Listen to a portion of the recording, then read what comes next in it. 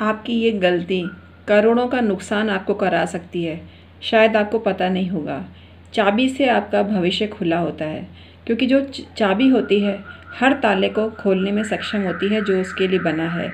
लेकिन ताला चा, चाबी का जो कॉम्बिनेशन होता है, वो आपको पता होना चाहिए। ताला चाबी का कॉम्बिनेशन आपको पता नहीं होता, इसीलिए बर्बादी आती है। इसीलिए आपके केतु रुष्ट हो जाते हैं और आपके भाग्योदय में, उन्नति में तरह तरह की मुसीबतें और रुकावटें आती हैं। आज हम इसी पर आपको जानकारी दे देंगे। आपका जो नसीब आपको बंधा हुआ लगता है तो नसीब ऐसे बंधा हुआ नहीं होता। आप एक खुद की आदत होती है। आप खुद ऐसी गलतियाँ करते हैं और नसीब बंधे हुए होने का रोना रोते रहते हैं ज़माने में। ऐसा नहीं होता मित्रों। मेरी बात को समझना और ये मन, मनन करना इस बात पर कि क्या आप ये गलतियाँ करते हैं। तो आइए आज का वीडियो शुरू करते हैं। मैं हूँ आपकी एस्ट्रोलॉजर डॉक्टर उमाश्री। मेरे चैनल में हमेशा आपका स्वागत होता है। आज भी पूरे मन से आपका स्वागत करती हूँ। कैसे हैं मित्रों? अपने हालचाल बताते रहा करिए। अच्छा लगता है आपके बारे में जानकर। मेरे जो भी व्यूवर्स हैं सब्सक्राइबर हैं, सदा पनपते रहें, तरक्की करते रहें, यही मेरी ब्लैसिंग्स उनके लिए होती है। तो आइए आज का वीडियो शुरू करते हैं। लेकिन अब, आज आप पहली बार डॉक्टर उमाश्री चैनल पर आए हैं। तो मैं आपका वेलकम करती हूँ और आपसे छोटी सी रिक्वेस्ट करती हूँ। मेरे चैनल को अभी के अभी सब्सक्राइब कर दीजिए क्योंकि यहाँ आपको जानकारी मिलती है ज्योतिष, तंत्र, मंत्र, यंत्र की और जीवन दर्शन की और धर्म कर्म की और व्रत उपवास की। बहुत अनेक अनेक तरह की जानकारी मैं आपको देती हूँ जो आपके जीवन में आपको सुखद बदलाव लाने में समर्थ होते हैं। ये मैं नहीं कहती, मेरे प्यारे प्यारे सब्सक्राइबर के कमेंट मुझे बताते हैं और तब मैं जान पाती हूँ कि मेरी वजह से कितने लोगों की ज़िंदगी बदल गई है और दुखद ज़िंदगी सुखद में बदल परिवर्तित हो गई है। ऐसा महसूस होता है कि मैं खुशी अनुभव करती हूँ। आज मैं आपको जानकारी दे रही हूँ ताला चाबी के बारे में।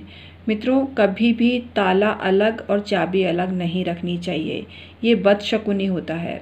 तो आपको चाहिए कि ताले में चाबी जिस, जो उसकी चाबी है, उसको साथ में ही लगा के रखें और एक दरवाजे पे कुंडा होता है ना, उस पर टांग के रखें।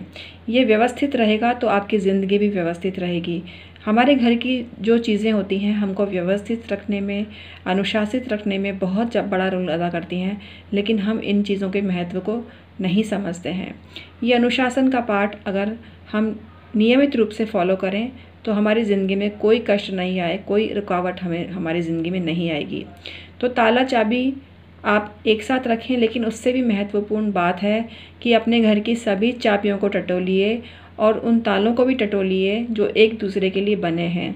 अर्थात जो, जिसकी चाबी नहीं है, उस ताले को फेंक दीजिए और जिस चाबी का ताला नहीं है, उसको फेंक दीजिए। मतलब पेयर में होनी चाहिए, सारी चीज़ें सेट होना चाहिए।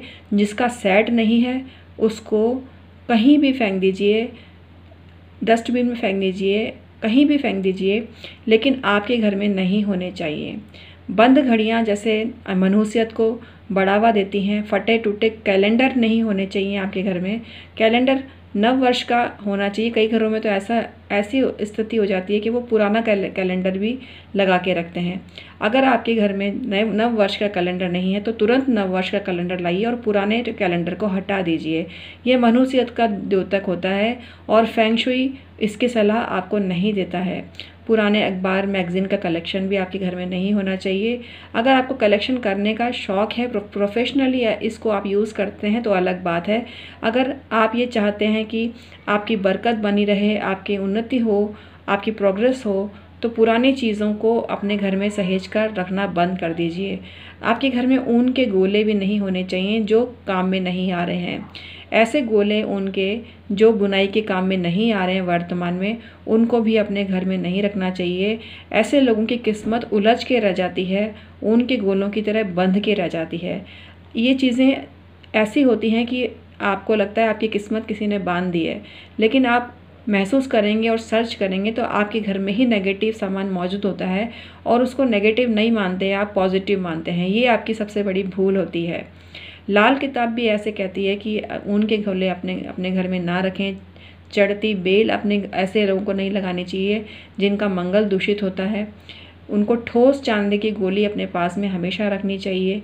ये सलाह भी हमें लाल किताब देती है। तो हमारे जो प्राचीन ग्रंथ हैं, ज्योतिष संबंधी और तंत्र मंत्र संबंधी, ये भरे पड़े हैं ज्ञानी, ज्ञान दर्शन से और हमको ज्ञान देते हैं। ताले चाबी के का मामला भी ऐसा है। चाबी के बारे में कहा गया है कि चाबी का छल्ला औरत की कमर में लगा हो तो वो उसकी शोभा बढ़ती है और उसकी सुंदरता में वृद्धि होती है। आप चांदी का छल्ला लगा लग, लगाते हैं तो आपको बहुत फ़ायदा मिलता है जिसको सटका भी बोलते हैं कमर बंद भी बोलते हैं। और आपके यहाँ कहाँ क्या बोलते हैं आप मुझे कमेंट में आके अवश्य बताना। तो कुल मिला के जो चाबी का छल्ला होता है उसका कोई आ, की की रिंग होना चाहिए। वो चांदी का भी हो सकता है, सोने का भी हो सकता है, इमिटेशन वाली ज्वेलरी भी हो सकती है, लेकिन आपको रखना ज़रूर ज़रूर है। चाबी ऐसे ही नहीं रखनी चाहिए। किसी भी की चैन में रखी है तो आपको बहुत फ़ायदा मिलेगा। भगवानों के की चेन आपको बहुत फ़ायदा करते हैं और आपके अंदर स्पिरिचुअल एनर्जी को भर के लाते हैं।